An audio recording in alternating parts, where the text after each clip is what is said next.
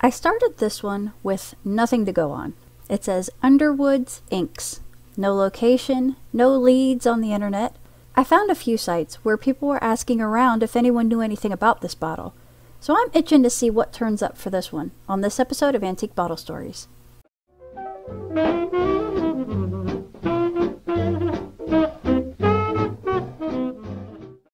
So I started with the newspapers. I found a few 1860s Underwoods inks in Australia newspapers. I don't think they have much to do with this story, but I thought I'd mention it. And after a little bit more looking, I did find a name Frederick Underwood, Inks. It's listed in the Brooklyn, New York paper in 1889. So let's see where this leads us. Ancestry City Directory for Brooklyn in 1889 turns up these Underwoods. There's that Frederick W. Underwood. It says he's a chemist. And look at the address 143 Grand. Now look at this John Underwood and Company, Inks, and it says 143 Grand Avenue. Oh, and John says he's also a chemist. Then there's also a Thomas down here, also working with inks at 147 Grand, which is probably the same building. Okay, so let me just dig around a little bit and see what I can find. So, this story is about John Thomas Underwood. He was born in 1857 in London. He came to America and seems to have settled somewhere around Brooklyn, New York in 1880 when he was about 23. The first directory he shows up in is 1883 Chemicals. In 1884, this says Underwood's Cobalt Inks, and it says for 20 years have been used by the largest bankers, etc., in Europe, India, Australia, and China. So this is that Australia company popping up here. And it says it's distributed by Ulrich and Kingsley, also in Buffalo. And I found them in the 1884 directory, and it shows that they sell books, stationery, and they do some engraving. In 1885, I don't see the Underwood Company formed yet, but in 1886, John T. Underwood and Company is formed. It looks like at the corner of Grand Avenue and Vesey. Now, 30 Vesey is this corner, although it doesn't intersect with Grand Avenue here. So now there seems to be two Underwood's inks floating around New York. And here's a newspaper ad from 1886, but since it doesn't say John Underwood and Company, I'm assuming this is an ad for the Australian one. This 1889 article talks about a suit John Underwood filed against a Henry Gerber for infringement of patent, which he lost. So 1890 is the first John Underwood ink that I found. And this 1891 mentions that Frederick W. died, and John is the executor. They are brothers, by the way. And here are some more 1897 ads for some Underwood's inks. Now, I'm not sure how popular John's inks are compared to these Australian ones by this time. So, which ones are these ads for? Uh, to be completely honest, I'm not sure. And to be honest, the bottle could be either one as well. I assume it's the American one, but honestly, there's no way to know. Okay, so here's a 1903 ad in Quebec, and it specifies John Underwood's inks. And it also has a picture of a bottle here, so we know he's getting out there.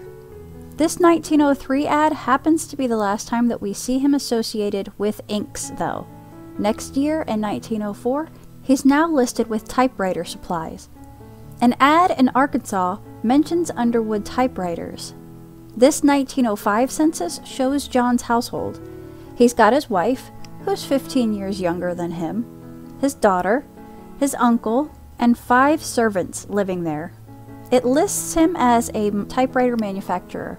I'm a little confused with all these ads all over the place though. Here's one from Kentucky.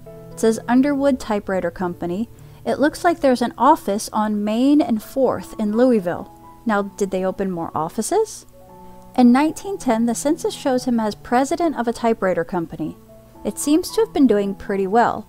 Here's a 1913 write up in the paper in Hartford, Connecticut. It says, Important new industry here Underwood typewriter adding machines in demand. Machines made of highest grade. This is in December, and it says in January this year, two booming businesses were constructed here at the Chamber of Commerce building. It says the John T. Underwood Company are manufacturers of typewriter adding machines, a class of instruments quite new in the line of office appliances. It says how Underwood had been developing this adding machine to be complemented with the typewriter. It mentions how this instrument had been very useful for the railways, such as Pennsylvania Railroad, banks, such as Bank of France at Paris, apparently this was a prominent, well known bank, insurance, and government. It says this machine possesses five registers, and great pains have been taken with its artistic appearance. But this comes secondary to its design of the mechanical features and accuracy of workmanship. It goes on to say that the registers, each one represents one column of figures. Each machine possesses one to five registers. This machine can hold paper anywhere between 10 and 26 inches wide. It mentions how well these machines were selling, stating that one customer has already ordered 50 of them for their office, which is quite a lot since they are selling between 525 and $985 each. It says there are about 220 workers employed currently, so that gives us an idea of how he's doing at this point. In 1915, the Hartford location is booming and needing more room. They say there's 200 people employed at the Connecticut location and 100 people at the New York location, but they're looking to open a space that can employ 1,000 workers. Now skip ahead to 1930, and he's still listed as a typewriter manufacturer. In 1933, this article says that a guy named Horace Teal, who was manager of the New York branch, died last night. Then, in 1937, John Underwood himself died at the age of 80. It says that he had been in poor health for about two years now. Now, this mentions that he was president of Underwood Typewriter Company for 33 years until it merged with Elliott Fisher Company in 1927, and he was chairman at that point. This says that the Underwood Company was incorporated in 1898, but it changed its name to Underwood Typewriter Manufacturing Company in 1903, which coincides with what we see when it changes from the ink ads to the typewriter ads. Now, this obituary actually states that his dad came over to America while John was in school in France, and his dad was the one who founded the John Underwood and Company, which manufactured at that time carbon paper ink, and ribbons for typewriters. It says that after his dad's death, John was interested in the production of typewriters. Okay, so that's interesting. On his write up on findagrave.com, someone had written, he and his father established Underwood and Company, and it says they pioneered the manufacture of typewriter supplies, including carbon paper and other accessories to support the typewriters being manufactured by Remington and Sons. In 1894, Franz Wagner, a German born inventor, developed a typewriter design that finally made the print fully visible to the operator as it was being typed. In 1895, Underwood bought the patent from Wagner and improved the design, making it a Underwood typewriter. It says his new company grew rapidly and was producing 200 typewriters per week in 1898. In 1901, Underwood introduced its number 5 model, which was sold in the millions over 30 years of production. It says some of the new features Underwood included were a ribbon selector, a backspacer, and a tabular. By 1915, Underwood had created the standard for the entire typewriter industry, and the Underwood Company replaced Remington as the number one typewriter manufacturer in the world and by that time the Underwood Company was producing some 500 machines a day. Now, I don't know that much about typewriters, but I've never heard of an Underwood typewriter, but it seems like if I did know anything about typewriters, I probably would know them, right? So let's skip ahead a little bit to 1945. That's the next time that I see anything in the paper, and it's for a wanted ad for a typist with some knowledge of bookkeeping at John Underwood and Company. So it's still in business. 1955. Darwin James, president of John Underwood and Company, died of a heart attack yesterday as he left the office. Now skipping ahead to 1963.